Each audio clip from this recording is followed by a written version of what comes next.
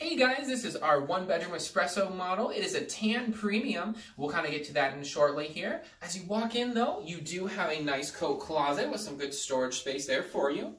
In the living room here, this really gives you a good picture of what our garden level homes look like. Right over here, you do have a nice large window, gives you a lot of natural light. You do have a garden box too, which you can decorate how you like.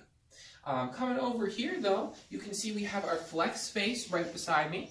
Uh, that is a really cool space because you can use it for something as simple as this where you have storage items, you know, maybe some books, um, extra magazines, those kind of things. Or it might be a study space for you. You could put a desk and a chair in there. You might even put a bike, whatever works best for you.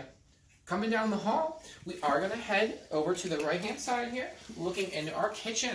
This is the tan renovation, like I was saying, so you do see we have the nice tan cabinets. Um, the countertop accentuates that as well. We have a stainless steel sink here with a garbage disposal, of course. We do also have a dishwasher in all of our homes, um, and you do have the black appliance package here as well.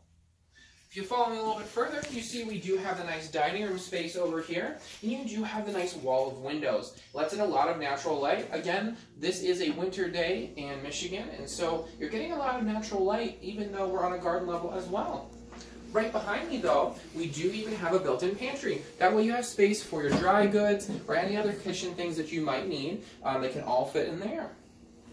If you follow me down the hall a little bit further, we'll come over to the bathroom.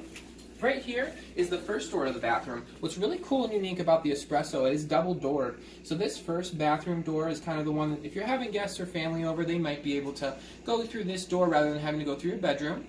As you can see, on the bottom you do have a lot of storage space, but then you can also see with the tan renovation, we do have the upgraded tile in the tub surround that you can see right over here. Coming into the master bedroom, we do have the second door as we're coming through. Um, you do have our large king size bed. Um, now this definitely shows you you have a king size bed with a frame on it that you're able to fit that here comfortably as well as have a dresser and a side table. So you do have a good amount of space in the bedroom here.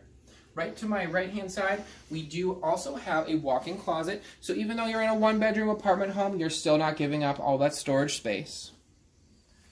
All right, guys, so that will do it for our espresso model. We are excited to have you here. We are open Monday through Friday, 9 a.m. till 6 p.m., Saturday, 10 to 5, and Sunday, noon to 5. We hope to see you soon. Thank you so much, guys.